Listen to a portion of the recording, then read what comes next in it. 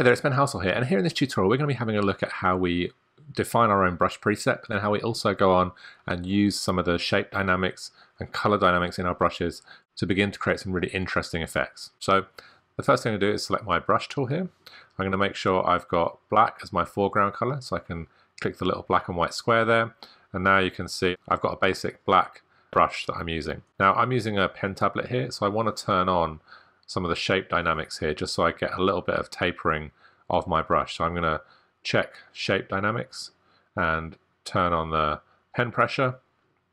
And that just means now when I draw, I can apply a bit more pressure, get a thicker brush, and then also kind of create a bit more kind of interest in the brush. So we're going to create something super simple here. So we'll just draw a couple of quick lines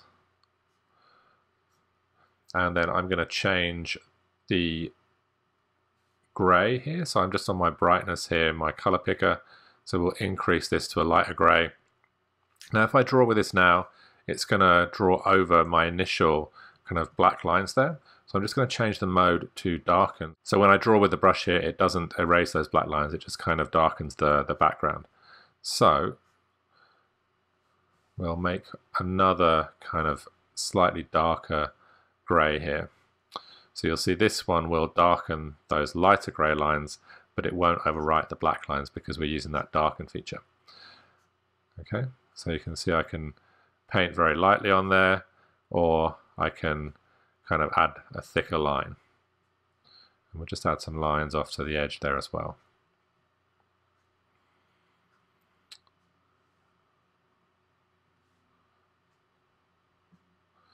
Okay, that should do it. So the reason I've kind of added these different textures there is that we can then see how the gray and the different lines kind of respond when we make a brush. So the first thing we need to do here is grab our rectangular marquee tool and we're going to select the area of the brush there. So once we've got that selection, we can go to Edit and Define Brush Preset. And that will basically grab all of this brush. We'll call this Ben's brush May 2020. So now you can see if I uh, deselect this and I'm just going to do Command A to select all, I'm going to delete my background there. So you can see now when I tap once with the brush, I get this kind of stamp of the pattern I've created. So we're going to change this up a bit. I'm just going to use Command and Z to go back, or Control and Z if you're on the PC. We can change the size of this brush, obviously, to a smaller brush. But where this starts to get really interesting is if we start to look at some of the shape dynamics that we had there before. So if I bring up my brush options here, you can see at the moment if I paint with my brush, I'm just getting this very uninteresting line. So we are going to turn on the shape dynamics. We've got some options for pen pressure.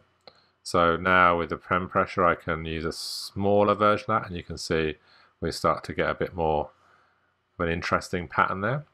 But it's really with these types of brushes that when we turn on the scattering up here, that we start to get some interesting results. So I'm going to turn the scattering on somewhere around 129%.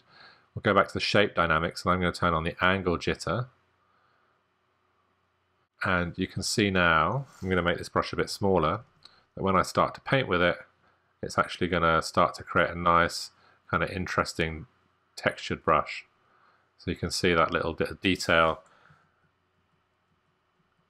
is really starting to work nicely. Okay, so I can add pressure. Okay. And then I can also increase the flow option here.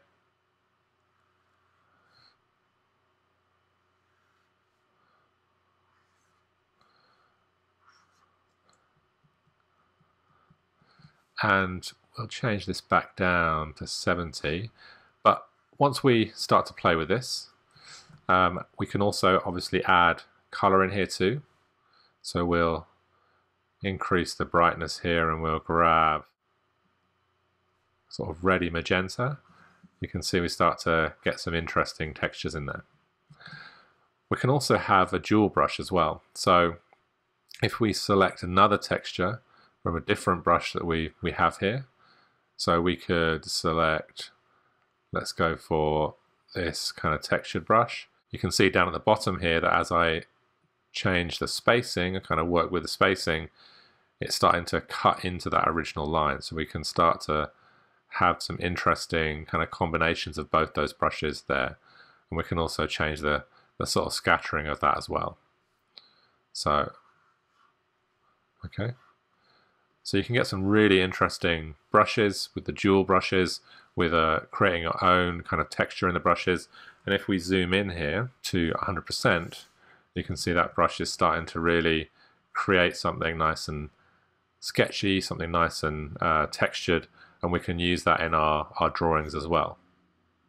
So if you're looking to create kind of more interesting textured brushes, then definitely um, have a look at defining your own brush presets thinking creatively about how you can use those textured brushes in different parts of your creations in Photoshop. It might be for backgrounds, it might be for working with layer masks and stuff like that to blend images together. Um, but brushes have a lot more use beyond the basic illustrative purposes of those brushes, uh, kind of that you might initially think um, would be useful in Photoshop. So you can see we're really getting some nice effects here once we start to play around with things like the the hue jitter. So if we push this right up, you can see as I paint with the brush,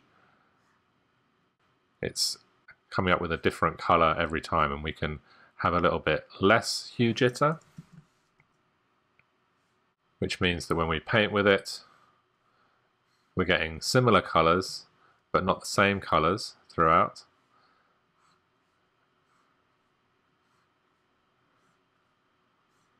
which can be really useful to just generate that texture and that interest in the projects you're creating. So as you can see here, there's a lot of very cool effects we can create with our brushes in Adobe Photoshop. Um, if you have any questions, then leave them in the comments below. Otherwise, I look forward to seeing you on the next tutorial.